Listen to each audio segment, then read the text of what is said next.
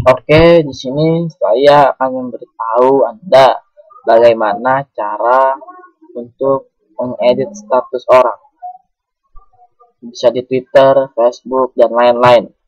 Caranya seperti ini. Anda pergi ke Twitter.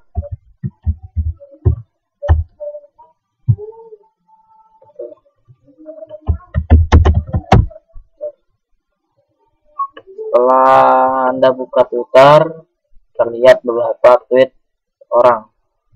Caranya seperti ini. Klik kanan inspect element.